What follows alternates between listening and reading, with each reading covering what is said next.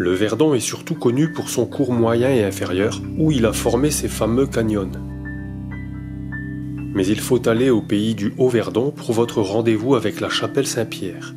Au sud de Colmar-les-Alpes, au village de Beauvézère, il faut quitter la D908, passer sur le Verdon par le pont en direction du hameau Villaressier. Une fois Villaressier, les gorges de Saint-Pierre sont indiquées par une petite route caillouteuse. Si vous êtes motorisé, laissez le véhicule quand le chemin devient trop chaotique. Vous y trouverez de petites places de stationnement. Deux énormes et magnifiques flancs de montagne vous accueillent, abruptes et rocheuses, telle une porte naturelle, une antre d'où débouche un affluent du Verdon, le ravin de Saint-Pierre. Notons que dans ces régions, le terme ravin est synonyme de ruisseau.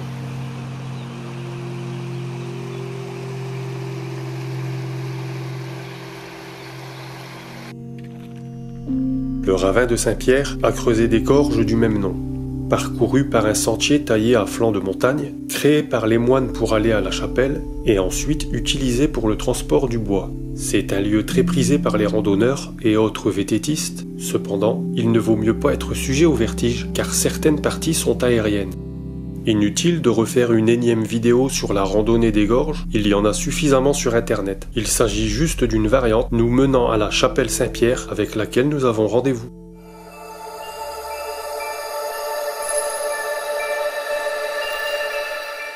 Le sentier escarpé vous emmène dans un amphithéâtre à ciel ouvert. Vous êtes comme un minuscule insecte arpentant l'intérieur d'un millefeuille.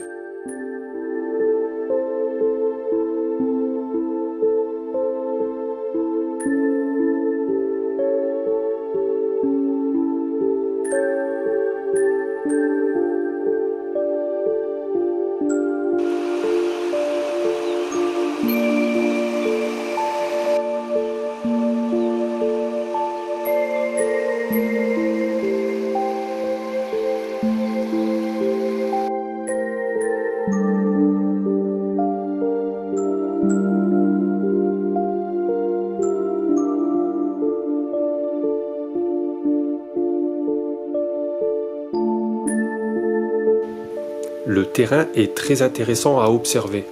Les marnes, les grès sableux et les schistes dont les couches se succèdent sont très friables.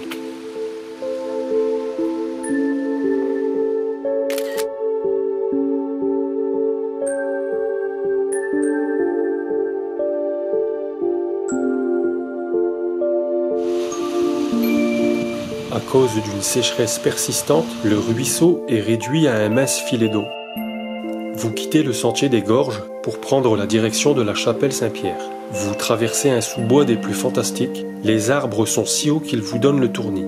Sapins pectinés, érables à feuilles d'aubier, genévriers, sorbiers, merisiers et bien d'autres encore compostent une qualité et une diversité des essences formidables. Ces bois abritent en poursuivre une biodiversité étonnante. Quand le sentier sort des bois, elle est là. Vous y êtes, la chapelle Saint-Pierre, nommée à une époque Saint-Pierre le désert. Blottie contre des rochers, on ne sait pas la date exacte de son édification, mais elle serait antérieure à 1665, date écrite sur le tableau se trouvant à l'intérieur de la chapelle, représentant Saint-Pierre et Paul.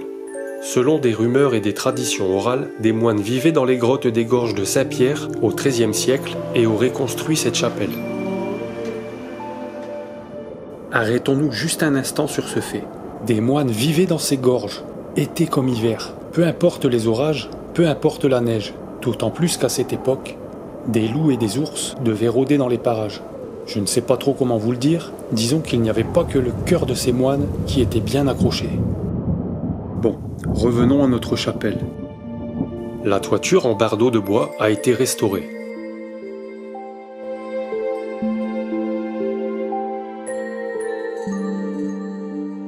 L'auvent précédant la façade abrite une porte percée d'un oculus en forme de croix, laissant observer l'intérieur et le fameux tableau. Mis à part la petite fenêtre au-dessus de la porte, ce sont les seules ouvertures de la chapelle. Votre balade se termine, vous oublierez probablement tout cela, retenons juste que ces moines vivaient dans des grottes, qu'ils ont construit cette chapelle qui a amené les hommes à fonder le hameau de Villaressier et ainsi construire une seconde chapelle vouée au culte de Sainte Anne. Quand vous viendrez, respectez ces trois choses bien présentes sur les lieux, l'eau, le patrimoine historique et la biodiversité. À la prochaine!